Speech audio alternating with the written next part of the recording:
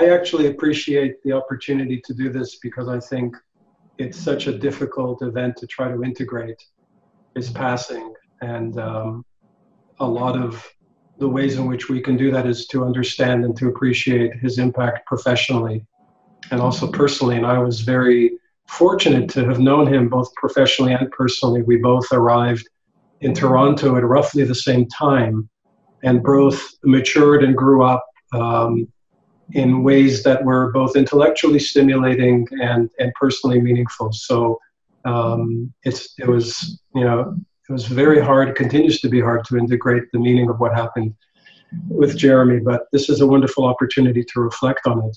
So um, it, it's, it's a weird coincidence. Jeremy and I both competed for the same job in Toronto which at that time was a position, a fairly high profile position um, at the only cognitive therapy center in Toronto that was established at the Clarke Institute for Psychiatry. Brian Shaw was running that clinic, and they were involved with the large treatment of depression collaborative research project that NIMH funded with uh, Tim Beck, um, Jerry Klerman, and Myrna Weissman, and um, I think uh, Stuart Sotsky as the psychopharmacology leads.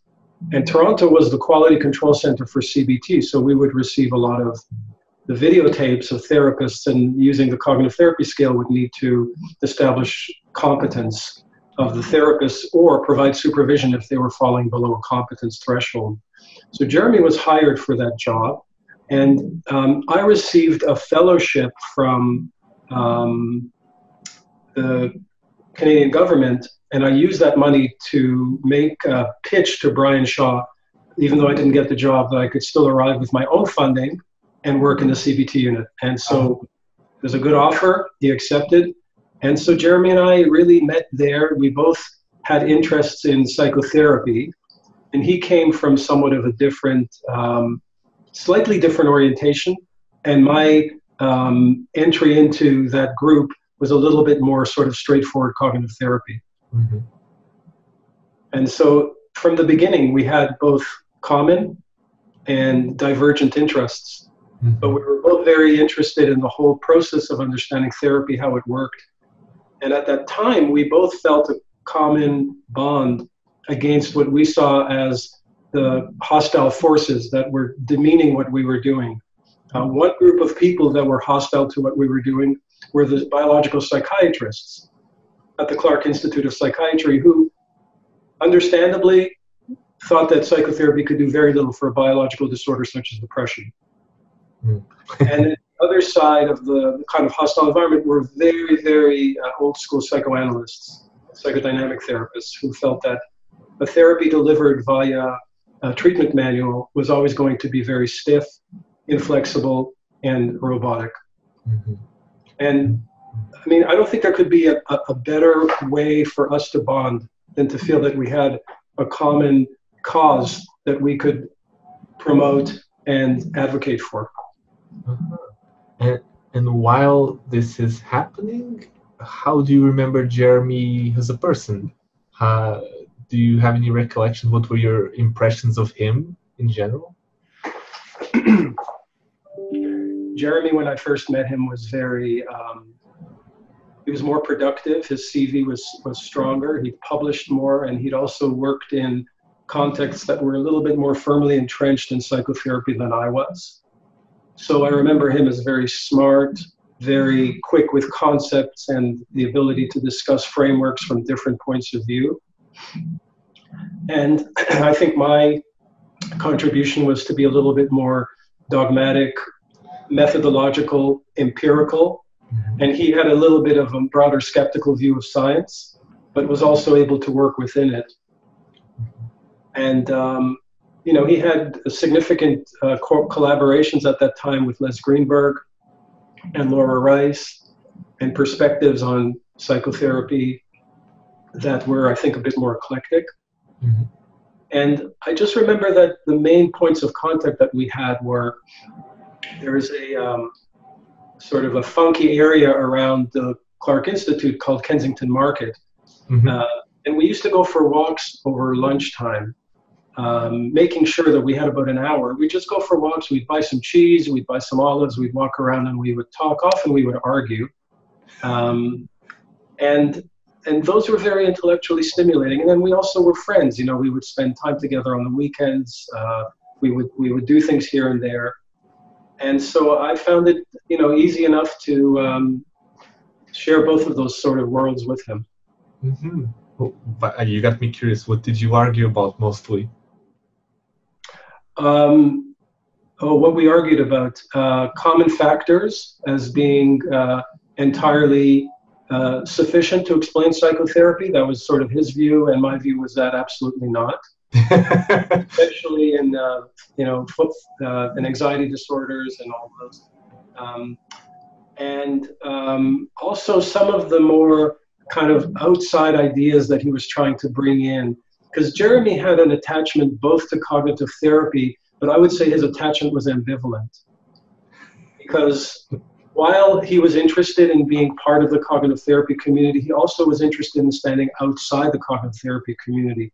So he could voice the criticisms of cognitive therapy and the sort of, you know, at that point, computer models of the mind, cognitive processing, all of these sort of um, teleological mental models were very popular. And I think Les Greenberg and I think others were, were critical of those models to encapsulate how we understand human emotions and emotion processing.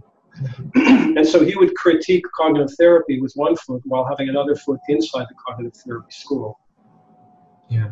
So for me, it was a little bit uncomfortable because I would push back. Some of these ideas were sort of speculations on his part.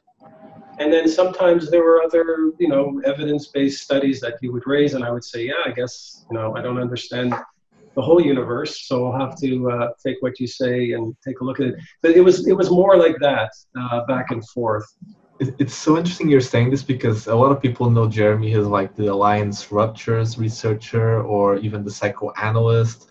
But oh yeah, yeah, yeah. For a lot of people to actually remember Jeremy the cognitive therapist, while he was never fully, you know, a classic cognitive therapist, is very interesting. He wasn't. He wasn't. But I remember we went to Philadelphia together for one of the first meetings of the cognitive therapy group with Tim Beck. We went to other meetings and met with Jeff Young and a whole bunch of other people. And he, he would always say to me, you know, the cognitive therapy group, they're always trying to defend themselves against what they imagine to be uh, criticisms. And they always have all of these critiques. And I'm saying, yeah, and eventually they're defending themselves from the things that you're saying about them. Because he was starting to pull things in much more of an interpersonal direction, which eventually led to our book yes. being published, Interpersonal Process and Cognitive Therapy. And even that was a little bit of a kind of departure uh, for cognitive therapists. Right. He was able he was able to hold both of those sides without alienating the cognitive therapy group. They saw his work as advancing the cause, but also influencing the interpersonal cognitive cycle and interpersonal schemas and things like that. He was right. able to translate it into a way that resonated both with the cognitive therapy group and even with some of the people on the interpersonal side. Right. I actually have the book here. I, I I've always loved this book, and it's it's funny you're saying that.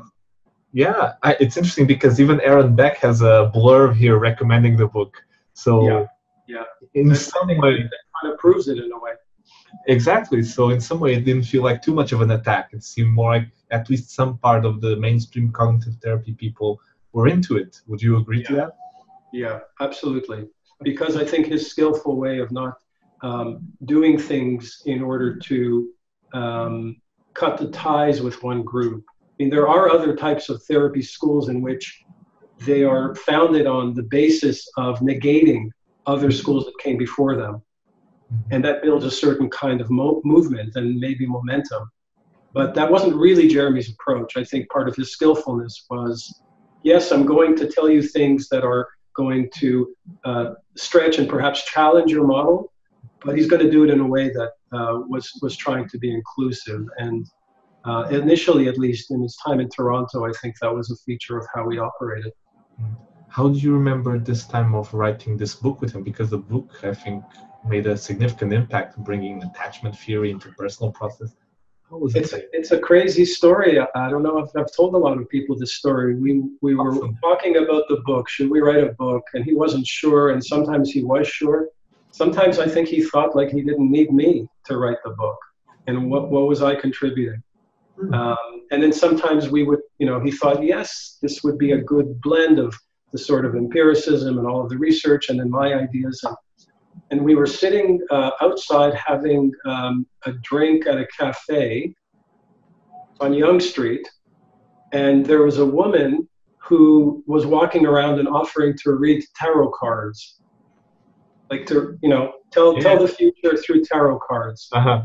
So he said, "Come over to our table, and I want you to read the future." And he asked the woman the question, "Should I write a book with this guy?" Can you believe that? Is that That's crazy? So awesome! That's such a great story. So she's putting out these tarot cards, uh, and and she says, "Yes, you should." And then he said, "Okay, my mind is made up." Oh my God, that's wonderful. That's amazing. It's amazing. And I mean, you know, we, we were we were going to do it anyways, but I think maybe he was looking for reassurance, or just he thought in that moment he could get some inspiration. but it, it also shows some of the ambivalence, and I think the the way in which he was also protective of his ideas and the you know the, the fear maybe that if he wrote it with me maybe i would be seen as the progenitor of some of these ideas when in fact they were really his ideas hmm. and i was very happy to to have him continue to be acknowledged as you know driving the bus in in that way um, but he was worried about that and and in, in spite of all of that i think we were able to work together write the book and then the book kind of stands on its own Right, right, right, right. When you say he was worried about that, do you mean that this was actually a topic of conversation between you two? Oh yeah, sure. Yeah, yeah, okay. yeah. That he felt that there were um, ideas that that he had worked on, that that he had propagated, and that he wanted to be seen as getting credit for. Mm-hmm. And um, you know, I think it. I think our relationship worked because there was a bit of a yin and a yang. I wasn't really interested in his ideas. Wow in terms of attachment theory, no, I didn't really believe in that. It wasn't really where I was going. Uh-huh. So I wasn't a threat to say, you know, this idea about the interpersonal cycle, that's my idea. Jeremy didn't think about it like that. That would seem so false to me. It would be weird. So how was it for you to have to work or how much did you feel invested in the book called Interpersonal Process in Cognitive Therapy? I felt invested. I mean, I, I was very interested in it because I think that what it did was opened up a door to concepts that I did believe in around the value of using this in treating personality disorders or looking at, at, at people who's straightforward, if you want to call that straightforward, although that doesn't really exist.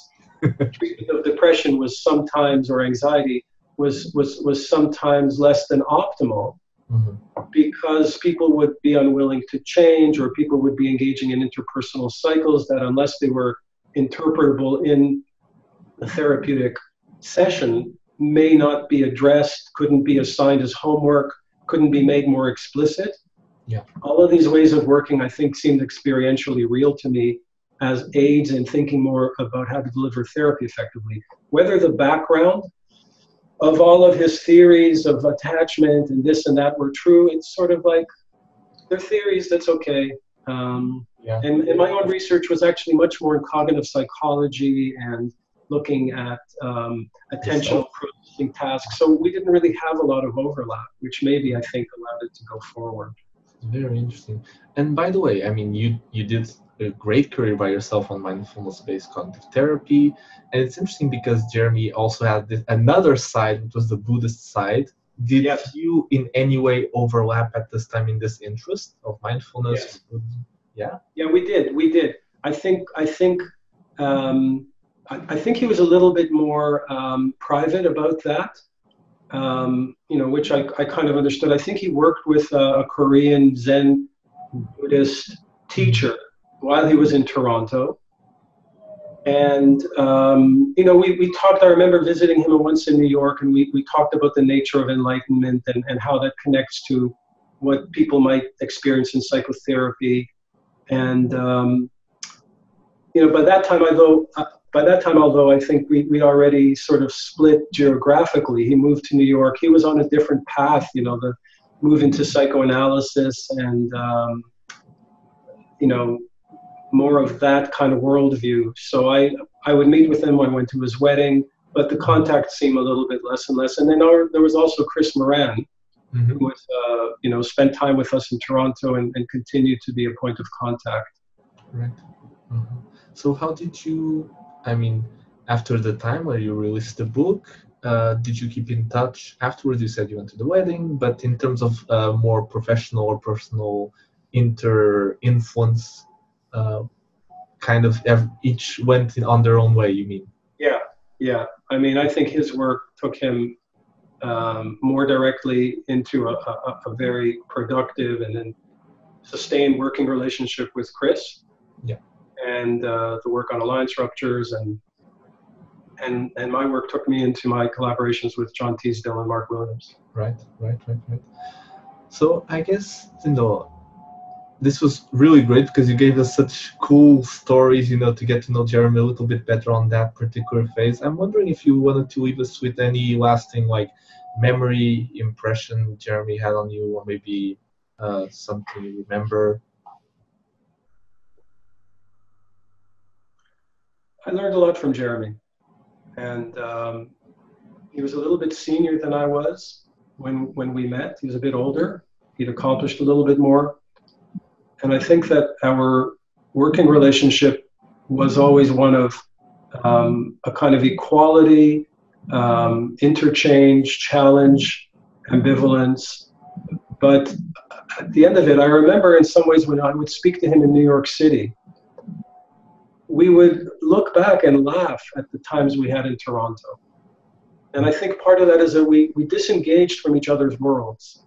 So we could have that freedom to look back and say, you know, can you believe we said this? Or can you believe we did that? Or can you believe when we were at this conference, this person said this? And I really cherish those memories because I think that there was very little ambivalence, at least in our conversations, to the relationship that we had that we could reflect upon. And I think that that actually, for me and for Jeremy, was, was very sustaining. I remember one dinner that we had in New York with Chris, and we spent a lot of it reminiscing, you know, not complaining and not um, dealing with worries, but just, I think, in a way, celebrating uh, the ability and the things that we did together. And I think that felt very positive for me, and I think it felt very nurturing for Jeremy. Yeah. And you know, I, I I miss that with him. Yeah. Even though it was you know very infrequent. Hmm. Zindel, thank you so much for this opportunity. You're welcome. Thank you for asking me.